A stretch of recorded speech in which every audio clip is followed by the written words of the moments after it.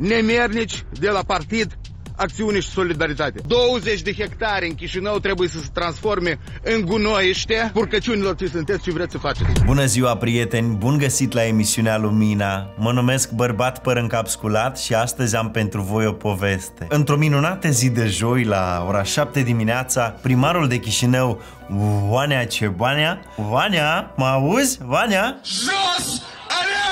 Alianță! Și eu te aud. Așadar, Vania ne-a anunțat că PAS vrea să aducă gunoi la Chișinău. Partidul PAS vrea să aducă gunoi la Chișinău? Acolo este zona pe care o vedeți, 20 de hectare, pe care acești nemernici vor să o transforme în gunoiștea zonii centru a Republicii Moldova. Deci toate raioanele de prin centru trebuie să aducă gunoi aici.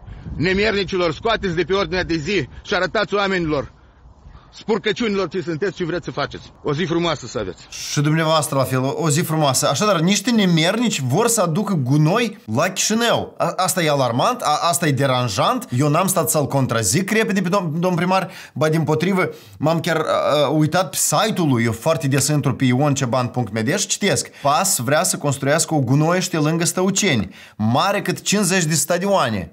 Și Bоже упаси, azi, virgulă, hoțește, virgulă, noaptea, virgulă, au vrut, virgulă, foarte rapid, virgulă, să aprobi. Mai multe virgule decât a schimbat Ion Ceban partid în cariera lui politică.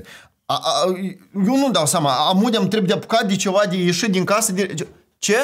Nu rezolvăm problema. Mai ascultăm un live de domnului primar. În aceeași zi de joi, la distanță de câteva ore, dar despre ce vor? Despre același subiect? Tot într-un live? Tot Ion Ceban? Hai să ascult. aproximativ 20 de hectare de pământ. Exact cum este inițiativa pasului în zona Râșcani, Ciocana, Stăuceni, Ciorescu, Cricova uh, și pe care vor să-l organizeze pentru a aduce tot gunoiul din țară la Chișinău. Repet, haideți să vedem cu toții ce fac criminalii ăștia. Ei o să aducă tot gunoiul din Republică la Chișinău. Pa, pa, pa, pa, pa, pa, pa, pas, pa, partidul PAS vrea să aducă tot gunoiul din țară la Chișinău. Eu mă aflu în prezent pe un munte de gunoi. Deși domnul primar nu s-a obosit să ne trimită pe noi, spectatorii, să intrăm pe site-ul Parlamentului, să știm despre ce proiect de lege e vorba, a, să ne informăm. și vreți să spuneți că Ion ceva nu a vrut noi să aflăm mai multe detalii decât din ce își spune gura lui? Ina Coșeru, deputat în Parlamentul Republicii Moldova din partea PAS, e autoarea unui proiect de lege care vine să realizeze angajamentele Republicii Moldova conform prevederilor contractului de finanțare dintre Republica Moldova și Banca Europeană pentru Investiții privind implementarea proiectului Deșeuri solide în Republica Moldova. Au și interesant. În 2019, Moldova semnează un contract de finanțare ca să se ocupe de deșeurile solide în Republica Moldova, să rezolve problema. A? Ați auzit? Moldova să neacă în gunoi. Ha, lă- Lăsați, mai răbdăm un pic. Și în 2020, în Parlament, atunci când mulți colegi, foarte mulți colegi de la Vania Ceban de la Socialiști erau în Parlament, s-a ratificat acordul ăsta de finanțare. Ceban nu cunoaște despre asta. Ceban, deși nouă nu ne spune că e vorba despre construcția centrului pentru gestionarea deșeurilor, dar și pentru locațiile aferente stațiilor de transfer. Asta ce înseamnă? Că Ion Ceban, manager de oraș, nu cunoaște diferența dintre un centru de gestionare a deșeurilor și o gunoiește? Stați o leac. Voi cunoașteți diferența dintre un bloc sanitar și o mojilă de... c- Noroc la toată lumea. Dar Ion Ceban de ce nu cunoaște? Sau pare să nu cunoască? Centrul de gestionare deșeurilor nu este o groapă de gunoi ca și țânțăreni. Este o uzină modernă, europeană, de sortare și prelucrare a deșeurilor. Eu refuz să cred că Ion Ceban nu știe că, de exemplu, în capitala Austriei, Viena, este un astfel de centru foarte faimos, mai ales pentru arhitectura sa. În Copenhaga, Danemarca, centrul de management a deșeurilor a devenit chiar și un loc de atracții pentru schiori. Pentru schiori, prichini, să mergi la schi la Stăuceni. În România, anul trecut la Cluj s-a deschis un astfel de centru, care, din imagini, nu seamănă deloc cu o gunoiește. Unde e adevărul în ceea ce spune Vania Cebanu? Și unde e un video cu Vania Cebanu în care el iese și spune Știți ceva? Conflictul s-a epuizat. Proiectul de lege a fost retras de pe ordinea de zi, gata, tăiet normal. Pentru că asta și s-a întâmplat. Într-un final, ieri documentul a fost scos de pe ordinea de zi. Noi credem că un astfel de proiect trebuie să vină din partea guvernului, un proiect cu studii de fezabilitate, studii, evaluare de mediu și alte nuanțe. Credem că e un, un proiect în grabă. Eu cred că proiectul este întârziat, nu este în grabă, pentru că Republica Moldova se neacă în deșeuri. Dar pentru a îmbunătăți proiectul de lege, eu propun să-l scoatem de pe ordinea de zi și să mai lucrăm la el. Acum deputata spune că se va merge în localitate pentru consultări suplimentare cu cetățenii. S-o epuizat ei tot scandalul, nu este nimic de rezolvat. Pace, pace între concurenți politici. A? Și a spus, a doua zi ce bani la Consiliul Municipal Chișinău iarăși iese cu un mesaj, iarăși vorbește despre gunoiește? PASul a pregătit un proiect de lege de dislocare a unui gunoiești pe 20 de hectare, echivalentul a 50 de terenuri de sport, de fotbal mari, închipuiți-vă 50 de Wimbledonuri, pline cu gunoi aici la Chișinău. 50 de stadioane de gunoi au pregătit pasul. Deși Vania Cibane iarăși ies cu un mesaj îngrijorător. Și ați spus luni la distanță de câteva zile la ședința săptămânală a serviciilor primăriei, Ion iarăși a ieșit cu un mesaj similar? Lângă Buneț, lângă sectorul Rășcan și lângă sectorul Rășcan, Ciocana, va fi această gunoiești.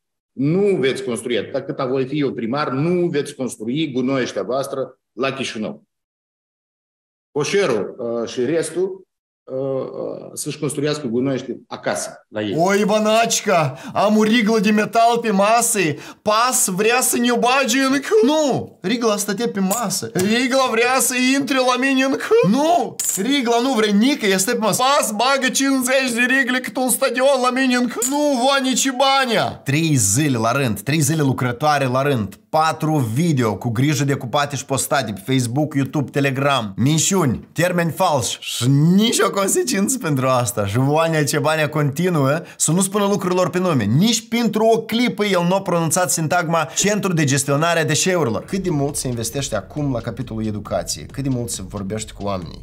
și se explică despre asta, așa încât oameni ca Ion Ceban, care ies cu declarații și operează cu termeni falși, să nu aibă priză la public. Oamenii în comentarii să nu scrie Bravo, bravo, bravo, Vania, вы единственный мужчина в Стаученах в 7 утра.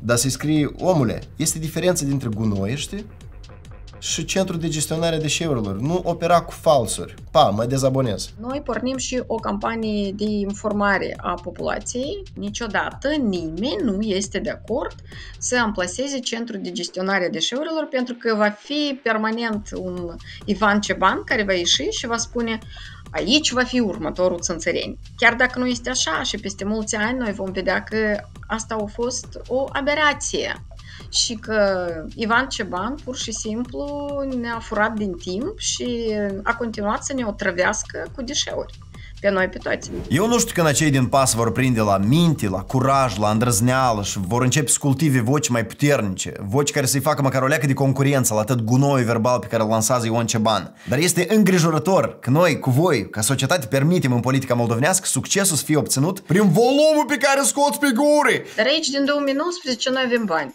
Uh-huh. Noi avem bani și eu nu înțeleg de ce noi ne mișcăm atât de lent. Și de ce sunt oameni ca Ivan Ceban, care nu înțeleg lucrul ăsta și care foarte bine își dă seama care este situația și în Chișinău, că noi pur și simplu ne necăm de deșeuri la propriu. Și că noi creăm riscuri foarte mari uh, asupra oamenilor din Țânțăreni și iată că iese cu niște live-uri de dezinformare, de manipulare, a oamenilor și oprește așa proiecte importante cum e 476, pentru a începe acest studiu de fezabilitate, pentru că oricum altfel noi nu vom beneficia de bani din partea acestor bănci, dacă nu vom trece de, de etapa de elaborare a studiului. Vă rog, verificați informațiile, faceți acest efort. El nu costă atât de mult, dar în același timp beneficiile sunt atât pentru noi, pentru fiecare din noi, noi devenim mai informați și mai puternici, cât și pentru întreaga țară. Ca nu cumva o labă de bandit corupți înșeapă crede. Uite la moldovenii ăștia, oi, moldovenii ăștia havanesc tăcile da ei. Dacă pui o leagă de zorzani un concert și urli tare pe Facebook, ei te cred pe cuvânt. Dragi prieteni, vă mulțumesc pentru atenție. Dacă v-a plăcut acest video, apăsăm butonul like,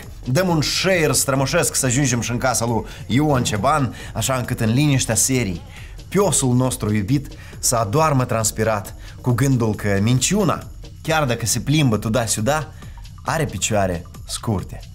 Numai bine, sănătate și Wi-Fi. Pupicei! Pas vrea să tai umbilicul! Pas vrea să tai buricul! Pas vrea să mă vine la